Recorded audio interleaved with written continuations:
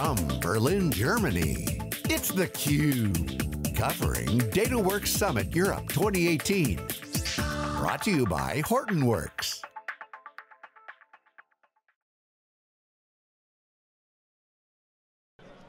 Well, hello, I'm James Kobielus and welcome to theCUBE. We are here at DataWorks Summit 2018 in Berlin, Germany. It's a great event. Um, Hortonworks is the host. Um, they made some great announcements. They've had partners um, doing the keynotes and the sessions, uh, breakouts, and IBM is one of their big partners. Uh, speaking of IBM, we have, uh, with, uh, from IBM, we have a program sure. manager, Piotr, I'll get this right, Piotr Mierzejewski. Mm -hmm. um, your focus is on data science, machine learning, and data science experience, which uh, is the IBM, one of the IBM products for working data scientists to mm -hmm. build and to train models in team data science, uh, enterprise operational environments. So, Piotr, welcome to theCUBE. I don't think we've had you, you, before.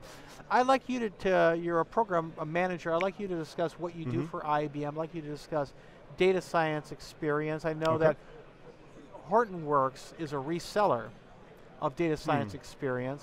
So I'd like you to discuss the partnership going forward mm -hmm. and mm-hmm. how you and Hortonworks are serving your customers, data scientists, um, and others in those teams who are building and training and deploying machine learning and deep learning AI into operational applications. So uh, Piotr, I give well, it to you now.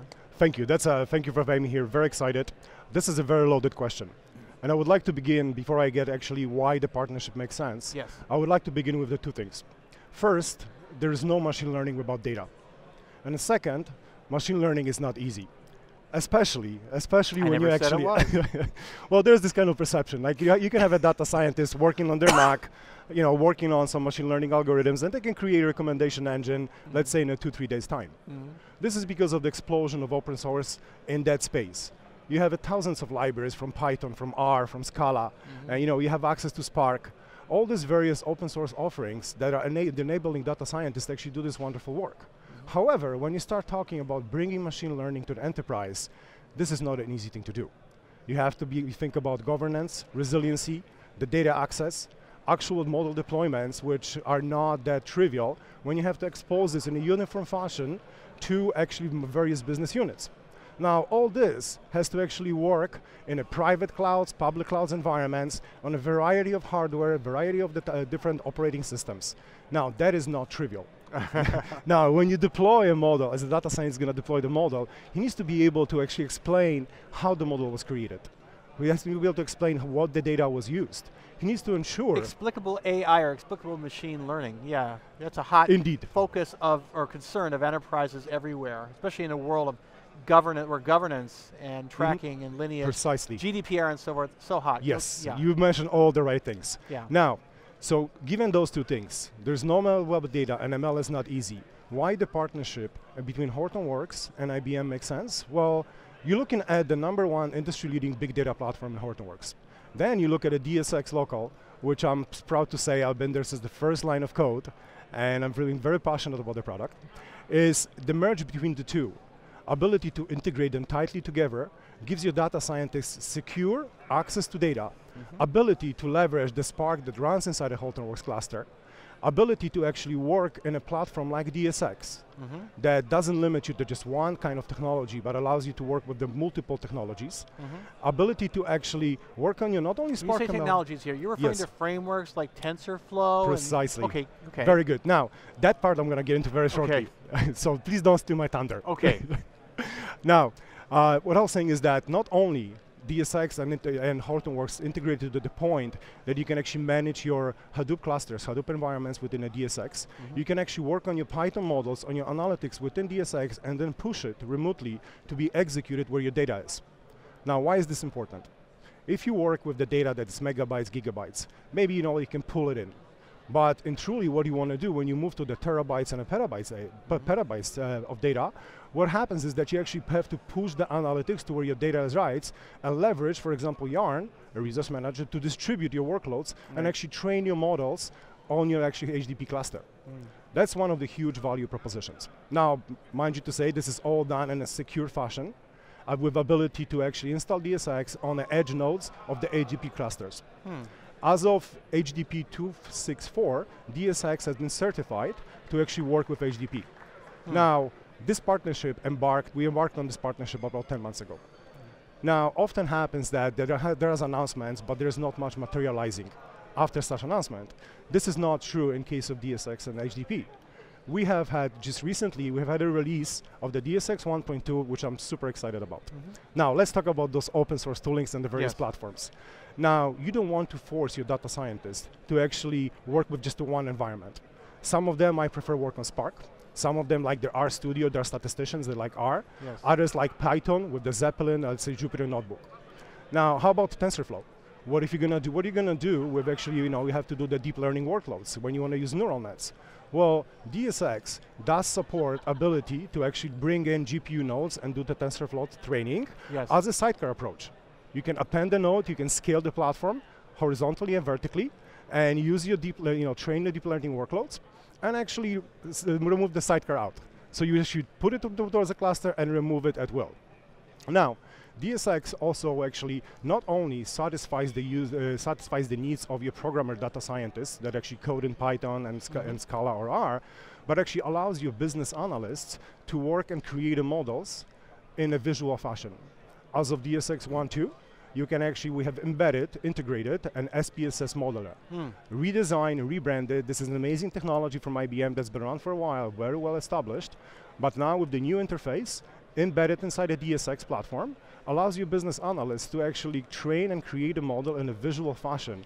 And what's beautiful... Business analysts, not traditional yes. data scientists. No traditional data scientists. That sounds equivalent to how mm -hmm. IBM, a few years back, yep. uh, was able to bring more of a visual experience to SPSS proper to enable Precisely. the business analysts of the world to build and do data mining and so forth with structured data. Go ahead. I no, no, no, no precisely. No, but, but I see it's the same phenomenon. you bring the same capability to bring yes. to greatly expand the range of professionals, data professionals, who can do, in this case, mm -hmm. do machine learning as well, hopefully as well as uh, a professional dedicated data scientist. Certainly. Yeah. Now, what we have to also understand is that data science is actually a team sport. It's not only that involves, and involves various, uh, various stakeholders yeah. from your organization. From executive that actually gives you the business use case, okay, to your data engineers that actually understand where your data is and can give you grant access. They manage the Hadoop clusters, many of Precisely. them. Precisely. Yes, so they manage the Hadoop clusters. Uh, they actually manage your relational databases because we have to realize that the data, not all the data is in the data lakes yet. Yes. You have legacy systems, which DSX allows you to actually connect to and integrate, integrate the data from. It also allows you to actually consume data from streaming sources. Mm -hmm. So if you had actually have a, a, Kafka message hub and that actually stre streaming data from your applications or IoT devices, you can actually integrate all those various data sources and federate them within a DSX to use for machine training models. Mm. Now, this is all around predictive analytics. But what if I tell you that right now with the DSX, you can actually do prescriptive analytics as well? With the 1.2 again, I'm going to be coming back to this 1.2 okay. DSX with most recent release, we have actually added decision optimization an industry-leading solution from IBM. Prescriptive analytics. Yes, gotcha. for prescriptive analytics. Yes. So now, if you have a warehouses or you have a fleet of trucks, or you want to optimize the flow in, let's say, a utility company, would it be for power? Or could it be for, uh, uh, for let's say, for the for water? You can actually create and train prescriptive models mm -hmm. within DSX and deploy them the same fashion as you would deploy and manage your SPSS streams. Mm as well as the machine learning models from Spark, hmm. uh, from Python. So we, we come with XGBoost, TensorFlow, Keras, all those various aspects. Mm -hmm. Now, what's going to get really exciting, that in the next two months, DSX will actually bring in natural learning, learning processing hmm. and text analysis and sentiment analysis by via WEX. So Watson Explorer, it's another uh, offering from IBM. It's called, what is the uh, Watson Explorer. Oh, Watson, Watson Explorer, Explorer yes. yes. So now you're going to have this collaborative massive platform, extendable, extendable collaborative platform that can actually install and run in your data centers without the need to access internet. Yeah. That's actually critical. Yes, yes, we can deploy an AWS. Yes, we can deploy in an Azure. On Google Cloud, definitely we can deploy in a SoftLayer, and we're very good at that. However, in majority of the cases, we find that the customers have challenges for bringing the data out to the cloud environments. Hence, with DSX, we design it to actually deploy and run and scale everywhere. Mm. Now, how we have done it? we've embraced open source. This was a huge shift within IBM to realize that yes, we do have 350,000 employees. Yes, we could develop container technologies, but mm. why? Why not embrace what is actually industry standards with, with the Docker and the Kubernetes right, that became yes. industry standards? Bring in RStudio, the Jupyter, the Zeppelin notebooks. Bring in the ability for your data science to choose the environments they want to work with and actually extend them and make the deployments of web services, applications, the models, and those are actually full releases. Mm -hmm. I'm not only talking about the model, I'm talking about the scripts that can go with that. Ability to actually pull the data in and allow the models to be retrained, evaluated, and actually redeployed without taking them down. Hmm. Now, that's what actually becomes, the, that's what is the, the true differentiator when it comes to DSX, and all done in either your public or private cloud environments. So that's coming mm -hmm. in mm-hmm. the next version of DSX? Oh, uh, we outside of the we Have, we're almost out of time. Oh, I'm so, so sorry. Yes. No, no, no, no. no I, that's my job yeah. as the uh, host to mm -hmm, let you know that. So if you could summarize so where DSX is going in 30 seconds or less, less as a, as a product, uh, what's the, the next version is, what is it? Uh, uh, it's going to be the one-to-one. Okay. One-to-one, and we're expecting to, uh, to release at the end of June. Okay. What's going to be unique in a one-to-one is infusing the text and sentiment analysis, yes. so natural language processing with predictive and prescriptive analysis for both developers and your business analysts. Yes. So essentially a platform, not only for your data scientists, but pretty much every single persona inside the organization. Including your marketing professionals who are baking yes. sentiment analysis into what they do. Thank you very much. This has been Piotr Mierzejewski of you. IBM. He's a program manager for DSX and for AI and uh, data, uh, ML, AI, and data science um, solutions, mm -hmm. and of course, a strong partnership uh, with uh, Hortonworks. We have, uh, we're here at DataWorks Summit in Berlin. We've had two excellent days of conversations with industry experts, including mm -hmm. Piotr. We want to thank uh, everyone. We want to thank the host of this event, uh, Hortonworks, for having us here. We want to thank all of our guests, all these experts, for sharing their time, their, of their busy mm -hmm. schedules. Um, we want to thank everybody at this event for all the fascinating conversations. The breakout's been great. The whole mm -hmm. buzz here is exciting. GDPR is coming down and everybody's gearing up, getting mm -hmm. ready mm-hmm. for that. But everybody's also focused on innovative and disruptive uses of AI and machine learning in business and uh, using tools like DSX. I'm James Kobielus for the entire CUBE team, the SiliconANGLE Media. Um, wishing you all, uh, uh, wherever you are, whenever you watch us, have a good day, and uh, thank you for watching theCUBE.